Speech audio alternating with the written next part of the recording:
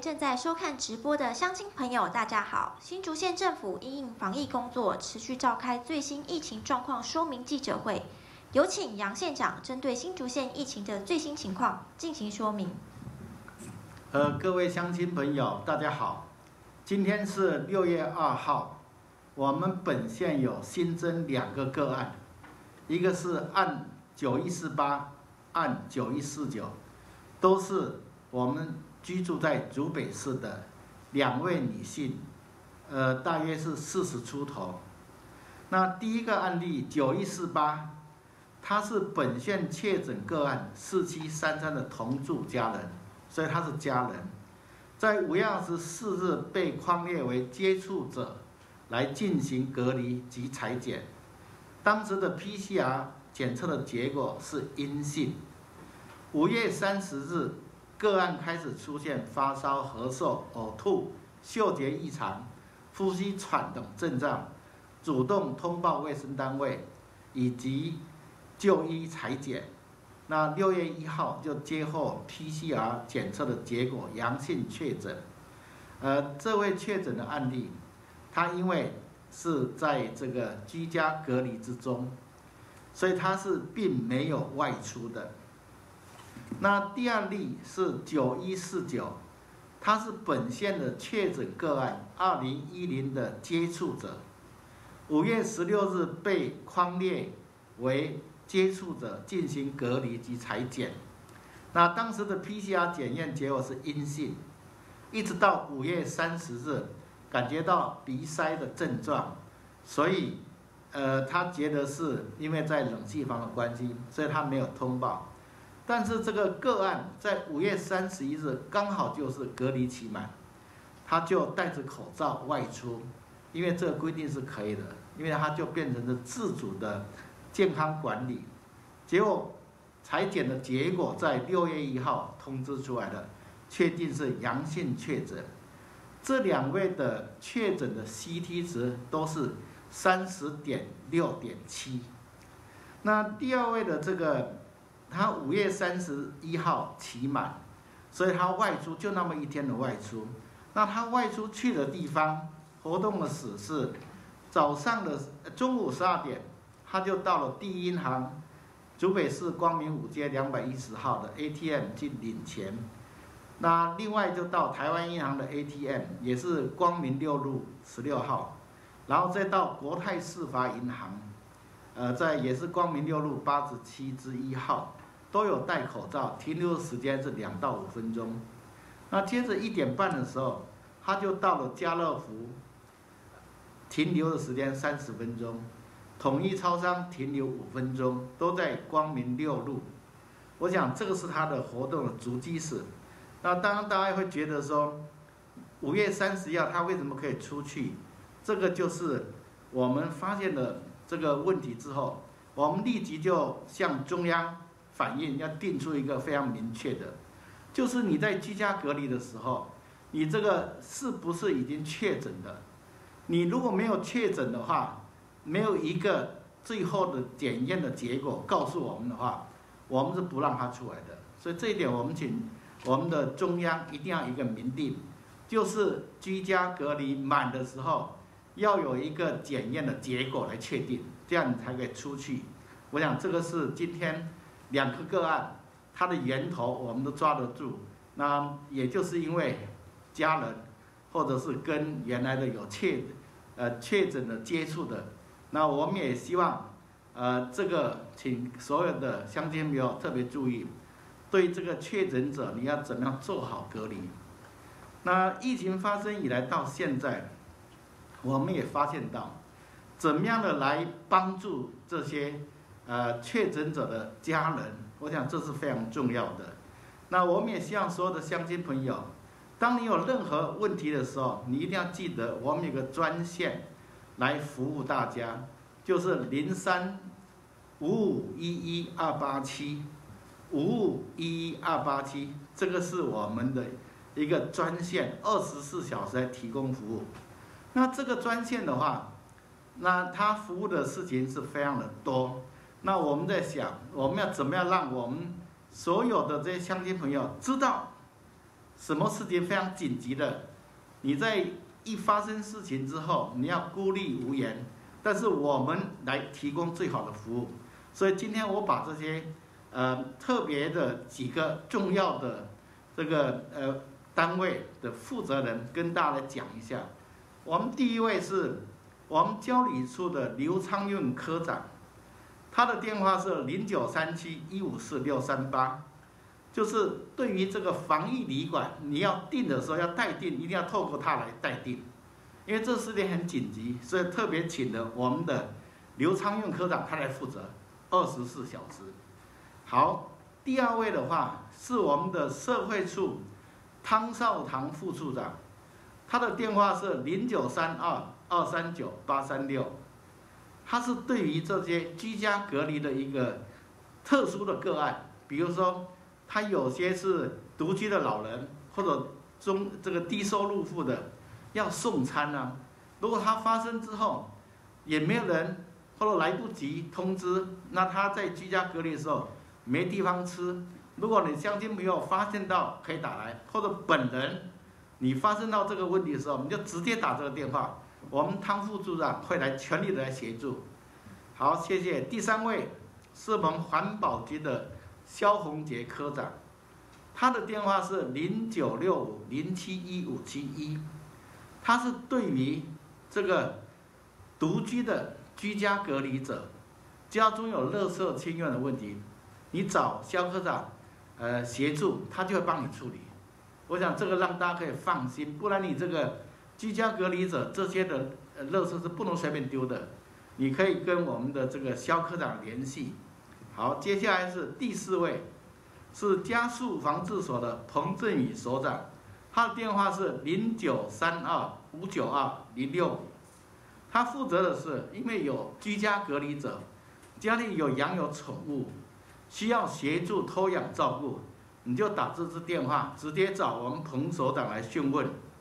那当然，我们这四位是特别，我们把我们的精英来特别来服务我们所有乡亲，让事情能够最快速得到一个答案来帮助大家。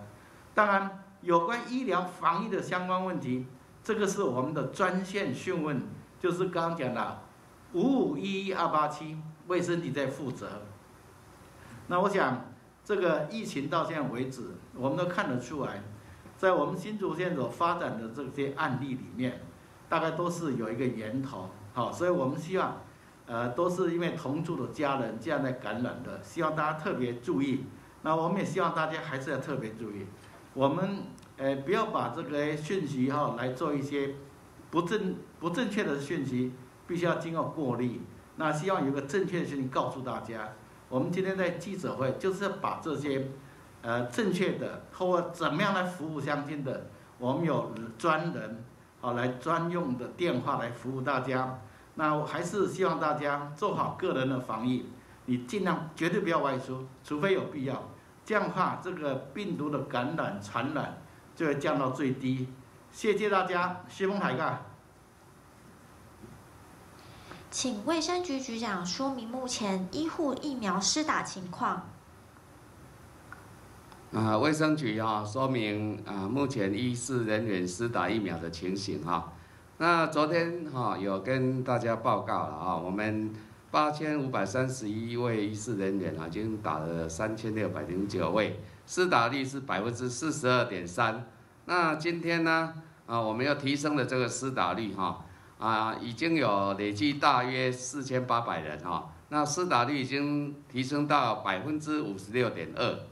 那这两天呢，就会全数哈把中央啊配给的一万三千一百剂的啊这个新冠啊疫苗全数来打完哈。那今天啊中央还没有进疫苗哈啊也还没有通知我们什么时间会进。以上说明。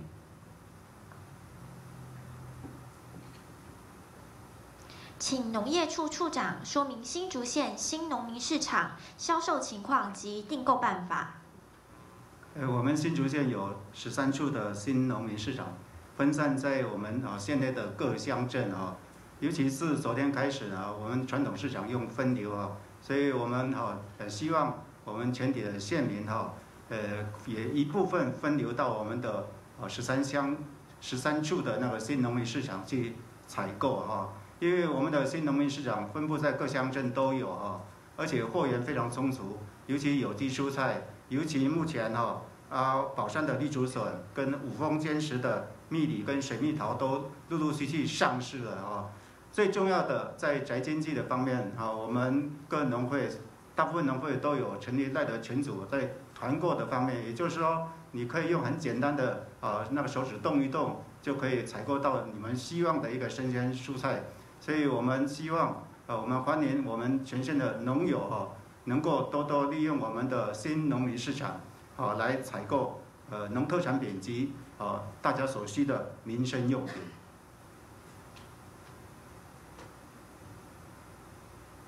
请产发处说明线上购物平台以及采购竹县良品办法。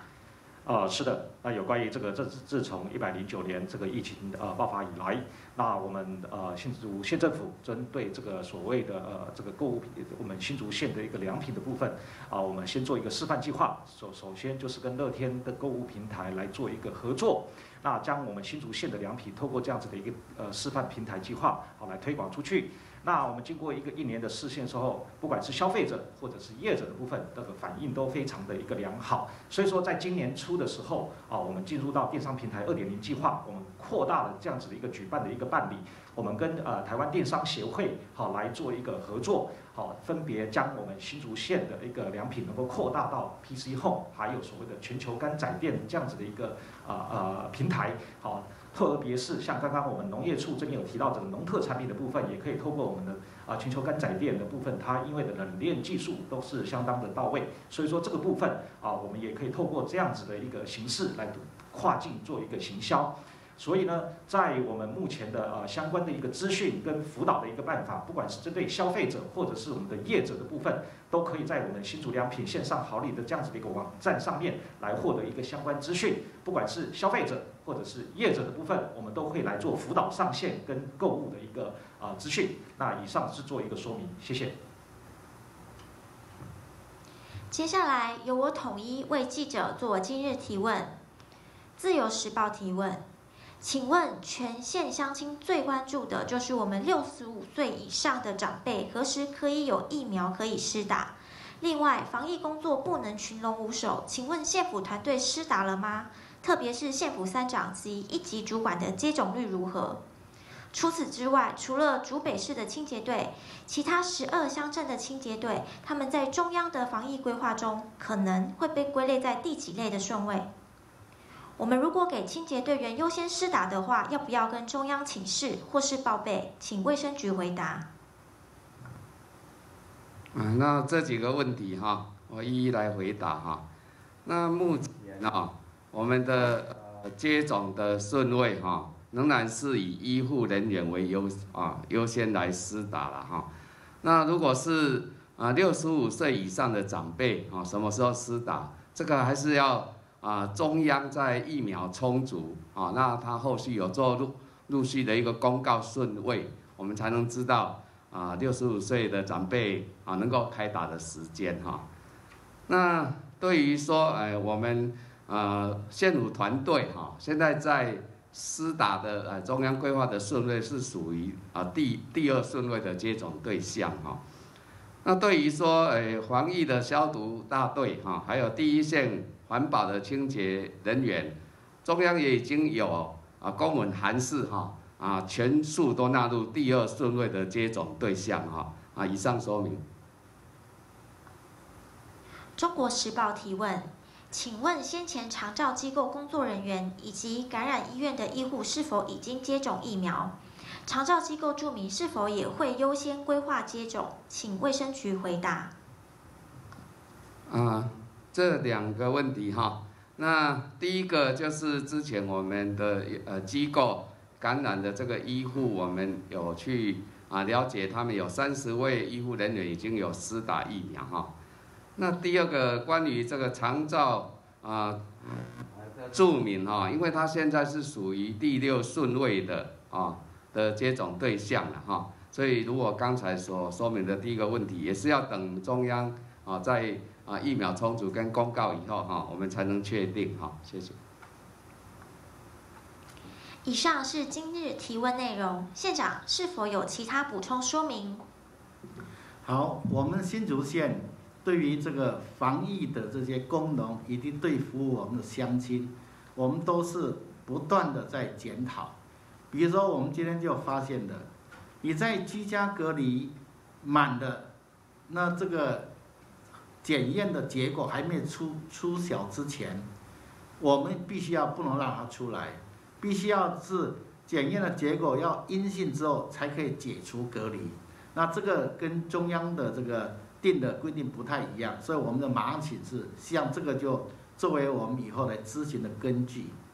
那我们在检讨中也发现到，这个被呃确诊这个阳性者，这确诊者，他旁边的这个第一圈的这个跟他有密切接触者，我们要框列为居家隔离者。这些要怎么样来服务他，让他放心？我们政府的力量要介入，所以我们今天要特别，除了卫生局的专案电话之外，那我们把相关的局数，我们刚刚特别介绍四位，我们用这四位同仁，他二十四小时开机，就是要帮助大家。你碰到这个问题，你就打电话来，我们的人就马上给你服务。我想这是呃我们。检讨之后，觉得这个必须要站出来，让大家了解，让大家可以来，呃，随时吩咐我们这些人来来帮忙。那我们也发现到，所有我们这个确诊者都跟家里人都是有关系，同住在一起的都有关系。所以我们现在也要求，你家里有人被确诊之后，你其他家人就必须要去快筛。这个也就是我们在六月一号成立。这个免费的快筛站的一个最主要的目的，那我们一成立之后，我们就有二十三位来申请预约快筛。那我们也希望大家要符合这个规定的，你就来跟我们这个呃预约。预约的电话是五五一八一六零转二五八这个电话，啊，希望大家可以尽量利用来预约。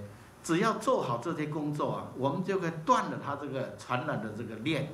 啊，我想我特别就这些说明，我们县府也会时常一直做检讨，让大家所发生过呃不方便的地方或者不舒服的地方，我们做来检讨来做一些，呃把这个防疫的工作跟服务相关的工作做得更好。我讲以上是我特别做的这样的一个补充说明。呃，新丰台尬，谢谢大家。谢谢县长。疫情严峻时期，非必要请不要出门，并做好自身健康管理。更多防疫资讯，请锁定新竹县 ING 及杨文科县长脸书。谢谢大家今天的收看。